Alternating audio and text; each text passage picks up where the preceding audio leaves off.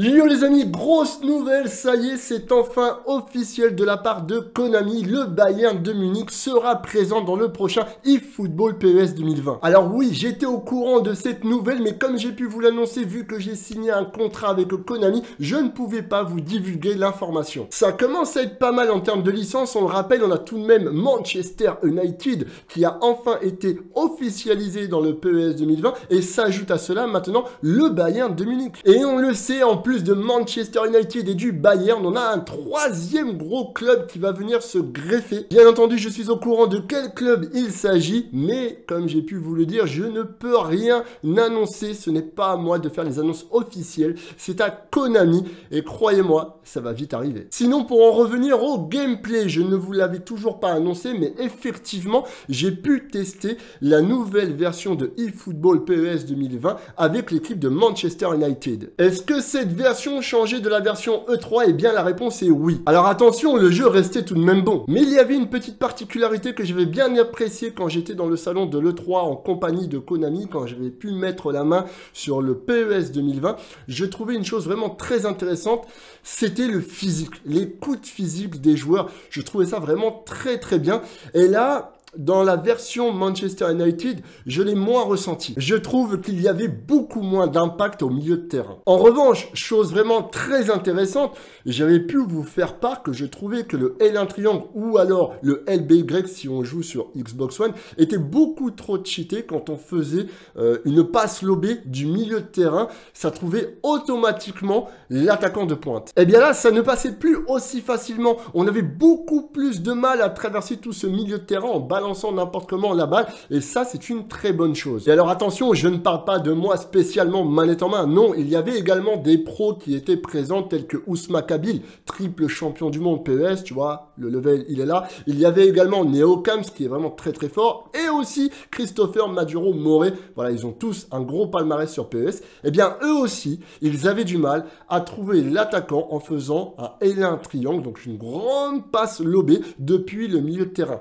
Par contre, Ousma Kabil, il est tellement fort, une grosse vision de jeu.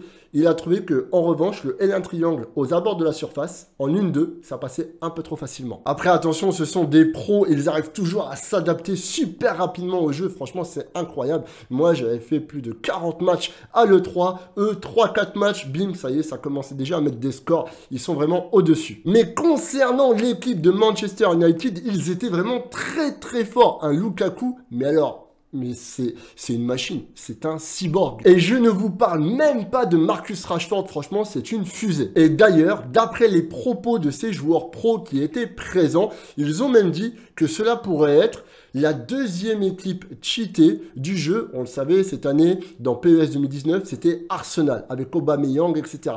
Sauf que là, les pros, quand ils ont testé Manchester United, ils se sont dit que si l'équipe reste telle qu'elle, eh bien, ce sera sans doute l'équipe type pour les compétitions e-sport. Alors voilà, c'est vraiment très intéressant d'avoir l'avis de ces joueurs pros qui ont tout de même une vision de jeu beaucoup plus développée que la nôtre. Mais à présent, pour le Bayern de Munich. Est-ce que cette équipe est aussi cheatée? Je ne vais pas vous mentir, je n'ai pas encore eu l'occasion de me déplacer pour aller tester cette nouvelle équipe manette en main. Alors, est-ce que le Bayern pourrait être encore plus fort que Manchester United ou bien Manchester United peut rester toujours devant le Bayern? Ça, je n'en sais rien.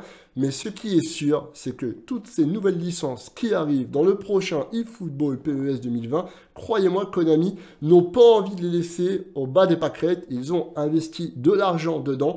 C'est sans doute pour les booster un minimum, c'est obligé pour que les gens puissent jouer avec et prendre énormément de plaisir et se dire que l'équipe, oui, elle est super forte. En tout cas, je ne tarderai pas à aller tester justement cette version pour vous faire part euh, de mon ressenti, de mon analyse, savoir si ça a encore rechangé depuis le 3, si ça a également rechangé depuis la version Manchester United. C'est tout de même toujours intéressant à savoir pour l'évolution du jeu avant la sortie. On le rappelle, qui sortira le 10 septembre 2019. En tout cas, restez connectés à la chaîne. Il y a du lourd qui va arriver dans les prochains jours, sans doute la semaine prochaine. Abonnez-vous à la chaîne si ce n'est pas déjà fait. Ou alors si tu es déjà abonné, eh bien active la petite cloche pour recevoir les notifications. car crois-moi, ce qui va arriver, c'est vraiment du lourd. D'ailleurs, je tiens à vous le rappeler que dimanche 14 juillet, il y aura le live, vous le savez, avec la FIPFA. Voilà, on sera sur le plateau TV de O-Gaming. Il va y avoir la compétition e-sport pour les personnes en situation de handicap, en fauteuil roulant, qui veulent se lancer dans l'e-sport, qui veulent découvrir le monde du football virtuel. On avait fait un premier live avec leur compagnie et ça s'était vraiment super bien passé. Eh bien, j'espère que vous répondrez présent pour cette bonne action parce que voilà, les handicapés ont également leur place dans l'e-sport. Ce n'est pas parce que tu es valide que tu dois être au-dessus d'un handicapé. Non, il y a de la place pour tout le monde et c'est à nous de montrer qu'on est une communauté soudée et qu'on est là sans faire des distinctions. En tout cas, ça s'était passé dans la joie et la bonne humeur et ça, ça fait extrêmement plaisir. C'était plutôt drôle. Donc, on verra leur marge de progression. Et ensuite, il y aura sans doute un mini tournoi et je pense que ça peut être vraiment très intéressant à suivre. Donc ne ratez pas, ça se passera dimanche. Sur ce, les amis, on a tout de même deux grosses licences. Manchester United, le Bayern de Munich, annoncé pour ce prochain PES 2020. On rappelle également qu'on aura la démo. On pourra télécharger la démo à partir du 30 juillet prochain. Et il y aura un mode online tu pourras jouer en ligne avec ton ami. Donc là, pas d'excuse à se dire ouais, mais non, on ne peut pas tester le mode en ligne, les serveurs, patati, patata. Non, pas de problème. Konami ont confiance. Ils te laisseront jouer en ligne et tu pourras te faire ta propre opinion sur le jeu. Sur ce, les amis, je vous dis à très vite et n'oubliez pas, la passion passe après les priorités. Ciao